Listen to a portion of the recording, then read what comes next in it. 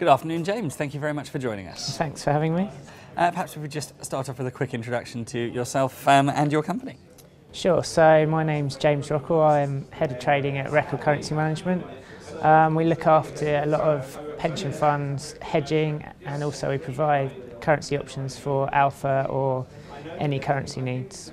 Uh, you've just come straight off of a rather heated debate, um, uh, not, politely dubbed Battle of the Platforms, and uh, talking about the, the, the, pros and cons of multi dealer versus single dealer. Mm-hmm. first of all, what were your key takeaways? Well, I guess one of the things for us at Record is we trade most of our FX on a spot outright basis, so there's actually a forward date to it. So one of the things that we're worried about is both credit and also that comes into best execution, so not only price. So when it comes to single bank platforms and multi-dealer platforms, that's very relevant to us. Um, the other thing that's very relevant to us is how long it takes to integrate things, and so for us, it makes a lot of sense to do the multi-dealer platforms rather than the single dealer platforms. Well, this is one of the questions. It's to, uh, one of the big questions about single dealer is can you really achieve best execution on a single dealer platform? Well, I think in the FX market, because there isn't an exchange and it's over the counter, you can get a best execution on a single dealer platform. Um, whether it's easier to prove it is is debatable. With a multi-dealer platform, you can get multiple quotes, obviously, but you might be getting multiple quotes from poor price sources. So it doesn't even, at that point, mean you're getting the best execution. I think the key thing is, is when you're analysing it afterwards, that you have the correct data to be able to pinpoint whether you did get the best execution retrospectively rather than necessarily at the time. And um, we were talking a lot about um, liquidity in the market, and, and the question between there's obviously a lot of fragmentation in FX, but also the fact that there may even be too much liquidity, uh, which is uh, in some ways a nice problem to have. But um, the big problem being making sense of it all and, and whether that's actually truly achievable. I think with regards to too much liquidity, it's whether it's been duplicated and doesn't actually exist. So as an example, if you have a bank providing a price in a specific size to a platform, are they providing the same liquidity to 100 different platforms when it only exists once? So that liquidity doesn't really exist in multiple places. So once it's been taken from one place, it won't appear in the, every other place.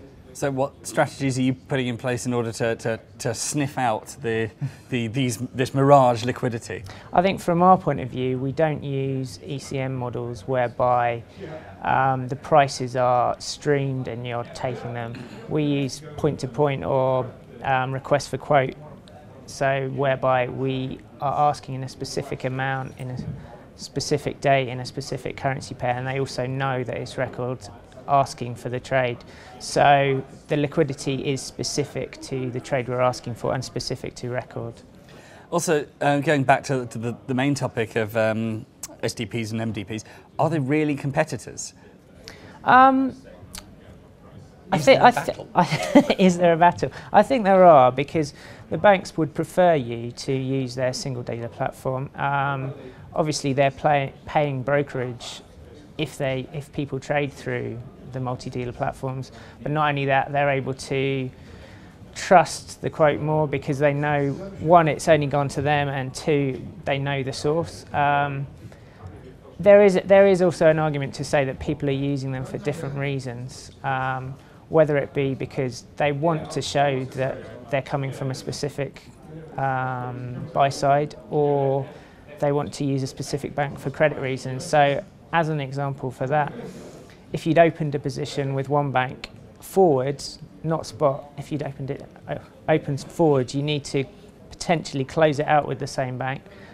Otherwise, you get um, a mark-to-market credit risk at the end rather than the net zero. Um, at Record, we tend to use the phone for that. However, the salespeople themselves can use the platforms at their end rather than asking for a price from the human traders. So by default, we are kind of using these single dealer platforms. Do you think, though, that, that, as you said, you're still on the phone, do you think there's going to be a point where you become fully electronic? Um, not in the foreseeable future. I'd always say never say never. but I think the phone is always useful for more unusual crosses and it's also good in bigger sizes and especially when the market becomes particularly liquid.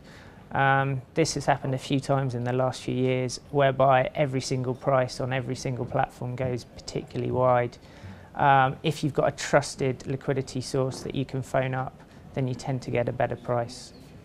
Brilliant. Well, thank you very much for taking the time to speak with us. I, I won't hold you up uh, from the, the networking slash lunch session going on behind us and uh, look forward to speaking with you later in the conference. Thank you very much.